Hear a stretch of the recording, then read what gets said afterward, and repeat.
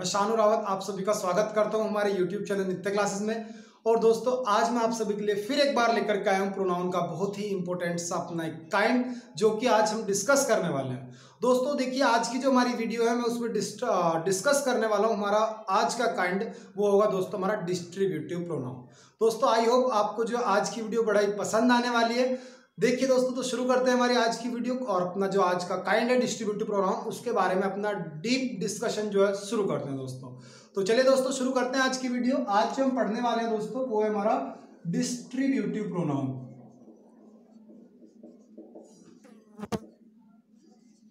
दोस्तों देखिए, जब भी कभी बात आती है डिस्ट्रीब्यूटिव प्रोनाउन की तो डिस्ट्रीब्यूटिव प्रोनाउन के अंदर हम उन सभी प्रोनाउंस को काउंट करते हैं या फिर उन सभी प्रोनाउंस को हम इंक्लूड करते हैं कि जिनकी हेल्प से दोस्तों हम सारे नंबर्स को डिस्ट्रीब्यूट करने का काम करते हैं। मतलब याद रखो, कोई भी आपका ऐसा प्रोनाउन कि जिसकी हेल्प से आप टर्म्स को डिस्ट्रीब्यूट करते हो, आप चीज़ों को बांटते हो, आप चीज़ों का विभाजन करते हो, आप चीज़ों को क्लासिफिकेशन करते हो तो उन सभी प्रोनाउंस को दोस्तों हम इंक्लूड करते हैं डिस्ट्रीब्यूटिव प्रोनाउन के अंदर। ठीक है दोस्तों? अब देखो इसका काम क्या अगर मैं सीधे से शब्दों में आपको बताऊँ तो डिस्ट्रीब्यूटिव प्रोनाउन का एक काम होता है, केवल इट डिस्ट्रीब्यूट्स ये क्या काम करता है? ये आपका बांटता है। अब बांटेगा किसी को कि आपके जो होल टर्म है, उन सभी को जब भी कभी नंबर्स में स्मॉल स्मॉल नंबर्स में क्लासिफाई किया जाए तो जिस प्रोनाउन की हेल्प से हमारी चीज़ों को बांटा जाता है, उसी को दोस्तों हम बोल देते हैं आपका डिस्ट्रीब्यूटिव प्रोनाउन अब देखो इसके अंदर हम काउंट करते क्या है? देखिए दोस्तों, इसके अंदर हम आपके तीन टर्म्स को काउंट करते हैं, तीन प्रोनाउन को काउंट करते हैं ईच आइदर और दोस्तों, एक होता है हमारा नाइदर दोस्तों, जो हमारा डिस्ट्रीब्यूटिव प्रोनाउन होता है डिस्ट्रीब्यूटिव प्रोनाउन के अंदर हम केवल तीन प्रोनाउन को काउंट करते हैं, जो कि हमारा होता है फ़र्स्ट हमारा ईच सेकंड हमारा आइदर और थर्ड हमारा होता है दोस्तों नाइदर अब पढ़ते हैं इनके बारे में कि आखिरकार इन तीनों प्रोनाउंस का किस तरीके से यूज़ किया जाता है, आखिरकार इन्हें हम यूज़ करते कहाँ पर है? ठीक है दोस्तों, और कहाँ कहाँ पर इनका यूज़ बिल्कुल नहीं कर सकते। अगर हमने वहाँ पर इनका यूज़ किया तो हमारा सेंटेंस गलत हो जाएगा। तो चलिए दोस्तों, बिल्कुल पूरा ए टू जेड कंसेप्ट हमारा जो डिस्ट्रीब्यूटिव प्रोनाउन का वो मैं आज आपको क्लियर करने वाला हूँ। देखिए दोस्तों ईच जो हमारा प्रोनाउन है, इसका मतलब होता है प्रत्येक। तो जो हमारा प्रत्येक होता है दोस्तों, इसका मतलब नॉर्मली होता है कि जब भी कभी आपके पास जितने भी नंबर ऑफ़ टर्म्स हो, जितने लोगों की आप बात कर रहे हो, जितनी आपके पास वस्तुएँ हो, आपको सभी की एक ही टाइम में बात करनी हो तो हम वहाँ पर बोल देते हैं नॉर्मली ईच मतलब ईच स्टूडेंट ईच टेबल या फिर ईच पेन मतलब हर, जितने भी आपके पास हो सभी को आपको एक ही बार में सभी के साथ बात करनी हो, सभी को एक बार में इंडिकेट करना हो तो वहाँ पर आप दोस्तों यूज़ करते हैं ईच का. ठीक है दोस्तों? अब बात करते हैं थोड़ी सी आयदर के बारे में. दोस्तों, आयदर का मतलब होता है दो में से कोई एक। मतलब वन आउट ऑफ़ टू देखिए दोस्तों, आयदर का यूज़ हम तब करेंगे कि जब भी कभी आपके पास कोई भी दो नंबर्स हैं और आपको उन दोनों में से कोई एक लेना है तब हम वहाँ पर यूज़ करेंगे आइदर ए और बी मतलब जैसे मान के चलो कि आपके पास दो फ्रेंड्स हैं, एक आपके पास ए फ्रेंड है, आपका कोई भी दोस्त है, और एक आपके फ्रेंड है बी अब आपको दोनों में से किसी एक की बात करनी है, या फिर आपको पता है कि दोनों में से कोई एक फ्रेंड जो मेरे ज़्यादा अच्छा है तो हम बोल सकते हैं कि आइदर ए और बी मतलब या तो ए या फिर बी तो याद रखिए कि जब भी कभी बात आएगी आइदर की तो आइदर का मतलब होता है किन्हीं भी दो में से कोई एक। ठीक है दोस्तों? अब बात करते हैं नाइदर की। तो दोस्तों, देखो नाइदर का मतलब होता है दोनों में से कोई नहीं। मतलब जब भी कभी आपके पास कोई भी दो ऑप्शन हो या फिर आप किन्हीं भी दो चीज़ों के बारे में बात कर रहे हो और आपको दोनों में से कोई सी भी चीज़ पसंद ना आए तो हम जो वहाँ पर प्रोनाउन यूज़ करते हैं दोस्तों, वो आपका हो जाता है नाइदर जैसे कि मैं इसमें कह सकता हूँ कि not any out of two ठीक है दोस्तों? तो जब भी कभी आपको दोनों में से कोई भी पसंद ना आए तो आप वहाँ पर यूज़ करेंगे। नाइदर का जब भी कभी आपको दोनों में से कोई एक पसंद आए, या फिर आप दोनों में से किसी एक की बात करना चाह रहे हैं तब आप वहाँ पर यूज़ करेंगे आइदर का। और जब भी कभी आपके पास जितनी चीज़ें हैं आप सभी को एक ही बार में इंक्लूड करना चाहते हैं या फिर आप सभी के बारे में एक ही बार में बात करना चाहते हैं तो दोस्तों तब हम बात करते हैं वहाँ पर हम ईच के साथ। लेकिन दोस्तों इनके बारे में मैं थोड़ा डीप डिटेल में जाने से पहले मैं आपको छोटा सा कुछ और कंसेप्ट इन्हीं की आ, मतलब डिस्ट्रीब्यूटिव प्रोनाउन के अंदर क्लियर करूँगा कि जिससे कि आपका जो ये प्रोनाउन है जो आपके बेसिक नाउन की या जो हमारी बेसिक ग्रामर है आपकी पूरी बेसिक ग्रामर बिल्ट हो सके। देखिए दोस्तों मैं आपको इससे अभी दो मिनट बाद क्लियर करूँगा। मैं चाहता हूँ कि पहले आपको एक कंसेप्ट और क्लियर करूँ, जिससे कि आपकी जो ग्रामर में बड़ा हेल्प मिले और हमारा जो ये डिस्ट्रीब्यूटिव प्रोनाउन है, आप इसे पूरा डेप्थ में बिल्कुल अच्छे से इसे क्लियर कर सकें। तो देखिए दोस्तों, बात करते हैं इसके अंदर हम पहले एक कंसेप्ट की। देखो दोस्तों, याद रखना, जब भी कभी आपके कोई भी दो सब्जेक्ट ठीक है दोस्तों, आपके कोई भी दो सब्जेक्ट हमारे प्रेपोजिशन ऑफ़ के साथ जुड़ रहे हो ठीक है दोस्तों? जब भी कभी हमारे कोई भी दो सब्जेक्ट मतलब सब्जेक्ट फ़र्स्ट और सब्जेक्ट सेकंड किसके साथ जुड़ रहे हो? हमारे प्रेपोजिशन ऑफ़ के साथ जुड़ रहे हो। तो दोस्तों, जो इनके साथ में आने वाली आपकी वर्ब होती है, वो आपकी हमेशा है according to the first subject ठीक है दोस्तों, जब भी कभी आपके कोई भी दो सब्जेक्ट प्रपोजिशन ऑफ़ के साथ जुड़ रहे हो तो इनके साथ में आने वाली जो आपकी वर्ब होती है, वो आपकी हमेशा आती है दोस्तों according to the first subject जैसे कि मैं आपको दोस्तों एग्जांपल्स देता हूँ बहुत सारे। जैसे कि मैंने बोला कि the mango of Hapur is या फिर आर स्वीट तो हमने बात किसकी करी? मैं एग्ज़ाम्पल दिया आपको। मैंने बोला कि the mango of Hapur is या फिर आर स्वीट ठीक है दोस्तों, अब आपने देखा भाई मेरा पहला सब्जेक्ट क्या था? मैंगो दूसरा सब्जेक्ट क्या था मेरा? हापुट था। लेकिन दोनों जुड़े किसके साथ? जुड़ गए दोस्तों हमारे ऑफ़ के साथ। तो याद रखना है कि जो हमारी ये वर्ब है, ये दोस्तों डिपेंड करेगी हमारे ऑफ़ से पहले आने वाले सब्जेक्ट पे। कहने का मतलब है कि पहले सब्जेक्ट पे हमारी जो है निर्भर करती है? तो इसी बेसिस पे जो हमारी वर्ब आएगी, दोस्तों यहाँ पे मैंगो सिंगुलर है। तो दोस्तों वर्ब भी आपका जाएगी सिंगुलर कभी भी यहाँ पर आप आर का यूज़ नहीं करेंगे। लेकिन अगर मैं यहीं पर इस तरह से बना देता कि द मैंगोज ठीक है दोस्तों, इस बार मैंने लिया कि the mangoes of Hapur is या आर स्वीट दोस्तों, इस बार देखिए, इस बार जो मेरे दोनों सब्जेक्ट जुड़े हैं ऑफ़ के साथ, इसमें जो मेरा पहला सब्जेक्ट इस बार दोस्तों, ये है हमारा प्लुअल तो याद रखिएगा कि यहाँ पर जो हमारी वर्ब आएगी, वो आपकी आएगी आर मतलब क्यों? क्योंकि जो हमारा फ़र्स्ट सब्जेक्ट था, दोस्तों, वो हो गया हमारा यहाँ पर प्लुअल तो याद रखिए कि जब भी कभी आपके कोई भी दो सब्जेक्ट प्रेपोजिशन ऑफ़ के साथ जुड़ते हैं तो दोस्तों, हमारी जो वर्ब हम यूज़ करते हैं, वो आपकी हमेशा आती है according to the first subject. अब दोस्तों मैं आपको लेकर के चलता हूँ हमारे आज वाले ही प्रोनाउन पर डिस्ट्रीब्यूटिव प्रोनाउन पे। क्योंकि दोस्तों जो आने वाला सारा कंसेप्ट था प्रिपोजिशन ऑफ़ का ही खेल था। अगर मैं आपको ये वाला कंसेप्ट क्लियर नहीं करता तो हो सकता है कि आपको जो आगे का मैं आज आपको कंसेप्ट बताने वाला हूँ, उसको दोस्तों आपको रटना पड़ जाता हो। तो होता क्या कि आप फिर वही बोलते कि, सर, आपने प्रॉमिस किया था कि हम आपको जो कंसेप्चुअल ग्रामर पढ़ाएँगे, और फिर आपने तो हमें वही रटवाने वाली बात कर दी। और दोस्तों मैं चाहता नहीं हूँ कि मैं आपको ग्रामर का कोई भी पॉइंट जो रटवाऊं। क्योंकि दोस्तों असल में अगर हमने रटने वाला काम शुरू कर दिया तो मुझमें और बाकी जो हमारे टीचर्स है, उसमें कोई फ़र्क नहीं रहेगा। या फिर बोल सकते हैं कि जो आपने पहले ग्रामर सीखी है, फिर आप एक बार उसी तरीके से ग्रामर सीख लेंगे। तो दोस्तों, आप पहले की तरह हो सकता है फिर से भूल जाएँ, या फिर जो आपकी ग्रामर है, उसे आप लंबे समय तक याद ना रख सकें। लेकिन दोस्तों, मेरा जो टारगेट है, वो ये है कि मैं आपको पूरी ग्रामर कंसेप्चुअली सिखाऊं और आपको हर एक चीज़ के पीछे कंसेप्ट पता हो कि आखिरकार ऐसा क्यों हो रहा है। ठीक है दोस्तों?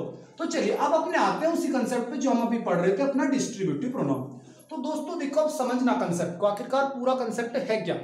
अब जो हम बात करने वाले हैं हम बात करेंगे कि जब भी कभी आपके सेंटेंस का सब्जेक्ट बन जाए दोस्तों, या तो ईच या फिर आपका आइदर या फिर नाइदर ठीक है दोस्तों, समझिएगा कि जब भी कभी आपके सेंटेंस का सब्जेक्ट बन जाए ईच आइदर या फिर नाइदर और दोस्तों, आपको इनके तुरंत बाद में देखने को मिले प्रपोजिशन ऑफ़ ठीक है दोस्तों कि जब भी कभी हमारे सेंटेंस का सब्जेक्ट बनेगा ईच आइदर नाइदर और आपको देखने के लिए मिले यहाँ पर आपकी प्रिपोजिशन ऑफ़ तो इसके बाद में जो आने वाला आपका नाउन होगा, या फिर जो इसके बाद में आपका आने वाला प्रोनाउन होगा।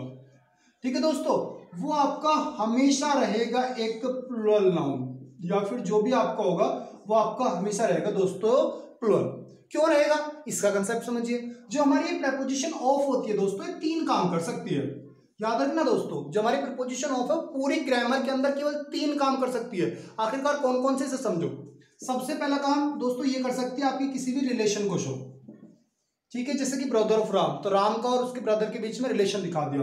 दूसरा काम दोस्तों ये कर सकती है आपका नॉर्मली पजेशन को शो पजेशन मतलब अधिकार, जैसे कि द लैग ऑफ़ चेयर तो यहाँ पर आपने देखा कि जो चेयर का लैग है उस पर अधिकार किसका, उसका चेयर का। तो जो कि मैंने आपको अपने नाउन की जो हमारी थर्ड वीडियो थी, उसमें मैंने आपको कुछ इंपॉर्टेंट कंसेप्ट्स के जो बारे में बताया था तो उसमें मैंने थर्ड कंसेप्ट में पढ़ा था, पूरा पजेसिव केस मतलब किस तरीके से हम एक नाउन का दूसरे नाउन के ऊपर पजेशन दिखाते हैं। तो दोस्तों, उस वीडियो में मैंने ऑफ़ के बारे में ये वाला कंसेप्ट पूरा डिटेल में दिया था। और दोस्तों, जो हमारा थर्ड काम प्रिपोजिशन कर सकती है, दोस्तों, वो कर सकती है आपकी सिलेक्शन का। अब दोस्तों, सबसे जो इंपॉर्टेंट काम करते हैं, हमारी याद, ये करती है हमारा सिलेक्शन का। अब दोस्तों, इस सिलेक्शन को समझना है कि आखिरकार सिलेक्शन होता क्या है। दोस्तों, देखिए, जो हमारा सिलेक्शन है सिलेक्शन का मतलब होता है चुनाव करना, छट छटनी करना, या फिर कह सकते हैं कि अपना किसी चीज़ को छांटना। तो जब भी कभी बात आएगी प्रिपोजिशन ऑफ़ की तो याद रखना, तीन काम करेगी, या तो रिलेशन शो करेगी, या फिर पोजिशन शो करेगी, या फिर काम करेगी सिलेक्शन का। अब दोस्तों, जब बात आई सिलेक्शन की तो आपको पता चल गया कि सिलेक्शन का मतलब होता है चुनाव करना, छांटना, चुनना। ठीक है? अब दोस्तों, आप एक छोटी सी बात अपने दिमाग में सोचिए कि जब भी कभी आपसे मैं कहने लगूँ कि आपको कुछ चीज़ें चुननी है तो दोस्तों, चुनने के लिए जिन चीज़ों में से आप छांट रहे हैं या फिर जिन चीज़ों में से आप सेलेक्ट कर रहे हैं तो कम से कम आपके पास दोस्त कितनी होनी चाहिए कि आप उसे सेलेक्ट कर पाए या फिर आप एटलीस्ट उसमें से कुछ अपने अकॉर्डिंग उसमें से जो चुन लें। तो दोस्त एटलीस्ट आपके पास कितनी होनी चाहिए? तो दोस्तों मैं आपको बताऊँगा, वो आपकी कम से कम होनी चाहिए दोस्तों दो, क्योंकि जब दो होंगी तभी तो आप कुछ चुन पाओगे। पता चला आपके पास पहले ही एक है। अब दोस्तों एक है तो उसमें तो चुनोगे क्या? वो तो आपके पास कह सकते हैं कि एक ही है तो उसमें तो आपको चुनाव हुआ ही नहीं। तो कम से कम जब दो होंगी दोस्तों, आप तभी कह सकते हैं कि ये अच्छी है, ये बुरी है, या फिर ये सस्ती है, ये महँगी है। ठीक है दोस्तों? तो याद रखो कि जब भी कभी यहाँ पर आपकी प्रिपोजिशन ऑफ़ आएगी तो ये दोस्तों काम कर रही है यहाँ पर सिलेक्शन का। ठीक है दोस्तों? यहाँ पर ये काम कर रहे हैं सिलेक्शन का। तो सिलेक्शन करने के लिए जिसमें से आप सेलेक्ट कर रहे हैं वो आपका प्लुअल होना दोस्तों बहुत ज़रूरी है। ठीक है दोस्तों? अब बात करते हैं कि जो आपने सेलेक्ट किया था दोस्तों सेलेक्ट करके तो आप किसी एक को ही निकालेंगे ना बाहर कि भाई ये वाला मुझे पसंद आया, ये वाला मुझे पसंद नहीं आया। तो जो आपने सेलेक्ट किया, वो तो दोस्तों आपका एक था। तो जो हम बात कर रहे हैं, बात तो हम सारे उसकी कर रहे हैं जो आपने सेलेक्ट किया। तो इसी वजह से जो आपकी आने वाली वर्ब होगी, दोस्तों वो आपकी हमेशा होगी, एक सिंगुलर वर्ब देखिए दोस्तों, मैं एक बार आपको फिर से पूरा कंसेप्ट क्लियर करने वाला हूँ। कंसेप्ट हमारा ये कहता है कि जब भी कभी आपके सेंटेंस का सब्जेक्ट ईच आयदर या नाइदर बने ईच आयदर नाइदर के तुरंत बाद में आपको ऑफ़ देखने के लिए मिले तो ऑफ़ के बाद में जो आपके आने वाला नाउन होगा या फिर आपका कोई भी प्रोनाउन होगा या फिर आपकी यूनिट ऑफ़ नाउन होगी वो आपकी हमेशा रहेगी। दोस्तों प्लुअल बिकॉज़ कि यहाँ पर जो हमारी ये ऑफ़ है, ये काम कर रही है सिलेक्शन का। और सिलेक्शन करने के लिए हमारे पास एटलीस्ट टू होनी चाहिए और टू हमारा होता है प्लुअल तो इस वजह से जो आपका यहाँ पर आने वाला नाउन या प्रोनाउन होगा, वो आपका हमेशा रहेगा दोस्तों प्लुअल लेकिन जो हमारी वर्ब सेंटेंस के अंदर यूज़ होगी, वो आपकी हमेशा रहेगी सिंगुलर बिकॉज़ आपने सेलेक्ट करने के बाद किसी एक को चुना है। तो इस वजह से उसका अकॉर्डिंग आपकी वर्ब आती है हमेशा सिंगुलर अब दोस्तों, यहीं पर हम थोड़ा सा एग्ज़ाम्पल लेते हैं इसी कंसेप्ट के ऊपर, जिससे कि आपको पूरा क्लियर हो जाए। जैसे कि मैंने एग्ज़ाम्पल दिया आपको दोस्तों, कि either either of the two boys was ever present in the class. दोस्तों, मैंने बोला कि दोनों में से कोई एक लड़का जो क्लास के अंदर प्रेजेंट है। अब आपने देखा जी आइदर आ गया। आइदर आ गया दोस्तों हमारा। आइदर के तुरंत बाद आपने देखा हमारी प्रिपोजिशन ऑफ़ आ गई और फिर आपने देखा कि टू बॉयज़ मतलब हमारा नाउन या प्रोनाउन आ रहा है। तो दोस्तों ये हमेशा रहेगा आपका प्लुअल तो ये तो हमारा ठीक है। लेकिन ये बात तो आइदर क्यों नहीं? तो वर्ब आपकी से कैसे आएगी दोस्तों? हमेशा सिंगुलर वर्ब लेंगे या कभी भी आप प्लुअल वर्ब नहीं लेंगे। जबकि हम एग्ज़ाम में गलती कर क्या देते हैं? कि भाई हम यहाँ तक मतलब स्टार्टिंग से बढ़े तो हम देखते हैं टू बॉयज़ भाई टू बॉयज़ तो हमारा प्लुअल आ गया। तो इसके अकॉर्डिंग दोस्तों हम यहाँ वर्ब लगा देते हैं, जो कि हमारे सेंटेंस के अंदर हमसे एरर हो जाती है। ठीक है दोस्तों? तो याद रखिएगा, जब भी कभी ईच आइदर नाइदर सेंटेंस का सब्जेक्ट बन गए, तुरंत ऑफ़ आ गई तो इनके बाद में आने वाला नाउन आपका हमेशा प्लुअल और आने वाली वर्ब आपकी हमेशा होगी सिंगुलर वर्ब तो दोस्तों आई होप आपको क्लियर हो रहा होगा। जैसे कि मैं एग्जांपल और देता हूँ। मैंने अपना सेकंड एग्जांपल दिया। मैंने बोला neither of the two girls was were ready to perform on stage ठीक है? दोस्तों, ये कह रहा है कि दोनों में से कोई सी भी लड़की जो तैयार नहीं हो रही स्टेज पर, जो परफॉर्म करने के लिए, अब आपको पता है दोनों में से कोई नहीं मतलब दोनों में से आप सेलेक्ट करना चाह रहे हो, लेकिन सेलेक्ट आपको कोई नहीं हो पा रहा तो इसी बेसिस पे आपने देखा कि सब्जेक्ट कौन बन गया मेरा? नाइदर बन गया। इसके बाद आपने क्या देखा? प्रिपोजिशन ऑफ़ आ गई, और फिर हमारा आ रहा है पीसीएन तो आने वाली जो मेरी वर्ब होगी, वो कैसी होगी दोस्तों आपकी? हमेशा होगी सिंगुलर वर्ब कभी भी आप जो है प्लुअल वर्ब का यूज़ नहीं कर सकते तो दोस्तों आई होप आपको जो पूरा कंसेप्ट क्लियर हो गया होगा। लेकिन अभी हमारा जो डिस्ट्रीब्यूटिव प्रोनाउन है, वो इतना सा नहीं है। दोस्तों, इसके बारे में थोड़ा सा हमें और जानना होगा कि जिससे कि हम हर तरह का जो अपना डिस्ट्रीब्यूटिव प्रोनाउन से रिलेटेड क्वेश्चन है, उसे हम डील कर सकें। देखिए दोस्तों, अब थोड़ा सा इसी के बारे में पढ़ते हैं कि एग्जामिनर गड़बड़ करता कहाँ पर या फिर हमारे जो एग्जामिनर है, उसमें किस तरह की एरर्स जो बनाएगा। तो दोस्तों, समझिएगा, जो हमारा प्रोनाउन होता है आइदर और नाइदर दोस्तों देखिए, जो हमारा आइदर होता है और नाइदर होता है, इसका यूज़ आप हमेशा कर सकते हैं केवल और केवल टू टर्म्स के लिए। ठीक है दोस्तों? तो आइदर हो या फिर आपका नाइदर हो, इनका यूज़ आप केवल और केवल कर सकते हैं हमेशा टू टर्म्स के लिए। कभी भी अगर आप इनका यूज़ दो से ज़्यादा के लिए करेंगे तो हमारा जो सेंटेंस होगा दोस्तों, वो गलत हो जाएगा। जैसे कि मैं आपसे बताना चाहूँगा एग्ज़ाम्पल की हेल्प से। मैंने बोला कि either of the five boys अब आगे कुछ भी कर लीजिए आप ठीक है? अब आपने देखा आइदर ऑफ़ द फाइव आ गया। अब दोस्तों यहाँ पर आइदर का यूज़ कर रहे हो इधर आप बात कितने कर रहे हैं? फाइव बॉयज़ की तो दोस्तों, यहाँ पर जो आपने आइदर किया यूज़ किया, ये आपका गलत हो जाएगा। याद रखना, हमेशा आइदर हो या फिर आपका प्रोनाउन नाइदर हो। हमेशा इन दोनों का जो यूज़ होगा, वो किन्हीं भी कंडीशन में, कैसे भी कंडीशन में हमेशा यूज़ होगा, किन्हीं भी केवल और केवल दो टर्म्स के लिए। ठीक है? लेकिन दोस्तों, आप तो फिर ये कहोगे कि अगर कंडीशन ऐसी आ गई कि उसमें दो से ज़्यादा के लिए बात कर दी तो आखिरकार तब क्या लेकर के आए? तो दोस्तों, उसके लिए भी सोल्यूशन होता है हमारे पास। उसके लिए सोल्यूशन हमारे पास क्या होता है कि जहाँ जहाँ पर आप आइदर का यूज़ कर रहे हैं, वहीं पर आप दो से ज़्यादा के लिए यूज़ कर देंगे हमेशा एनिवन का। ठीक है दोस्तों? जहाँ पर भी आप आइदर का यूज़ करते हैं, वहाँ पर अगर आपको दो से ज़्यादा के बारे में बात करनी है तो आप यूज़ करेंगे एनिवन का। कब? फोर मोर देन टू ठीक है तो दोस्तों? For more than two clear हो रहा होगा यो? अगर आप बात करें हम नाइदर की ठीक है दोस्तों? तो नाइदर के भी कंसेप्ट बिल्कुल यही है कि अगर आपको नाइदर का यूज़ दो से ज़्यादा के लिए करना है तो आप वहाँ पर नाइदर का यूज़ नहीं करेंगे। आप दोस्तों वहाँ पर यूज़ करेंगे किसका? नन का। ठीक है? इसका भी कंसेप्ट यही है कि जब भी कभी आपको दो से ज़्यादा के लिए यूज़ करना हो फॉर मोर देन टू ठीक है दोस्तों? तो याद रखिए, जब भी कभी बात आएगी आइदर या नाइदर की और उनका यूज़ आपको करना पड़े दो से ज़्यादा के लिए तो आप हमेशा वहाँ पर आयदर या नाइदर की जगह पर आयदर की जगह पर यूज़ करेंगे एनीवन का और नाइदर की जगह हम यूज़ करते हैं नन का। जैसे कि दोस्तों मैं एग्जांपल फिर से देता हूँ। मैंने फिर से एग्जांपल लिया कि neither of the ten students neither of the ten students has या फिर have completed completed uh, his homework. ठीक है दोस्तों मैंने पूरा एग्जांपल आपके सामने लिया। मैंने बोला कि neither of the ten student has completed his homework अब आपने देखा जी बात कितने स्टूडेंट्स की हो रही है? टेन स्टूडेंट्स की। लेकिन यहाँ पर आप यूज़ क्या कर रहे हैं? नाइदर का यूज़ कर रहे हैं। तो दोस्तों, जो आपने यहाँ पर नाइदर का यूज़ किया, ये हमारा हो जाएगा गलत। क्यों? क्योंकि नाइदर का यूज़ तो आप केवल दो के लिए कर सकते हैं। जैसे दो से ज़्यादा की बात हम करेंगे तो यहाँ कभी आपका नाइदर नहीं आएगा। दोस्तों, आप यहाँ पर यूज़ करेंगे किसका नन का।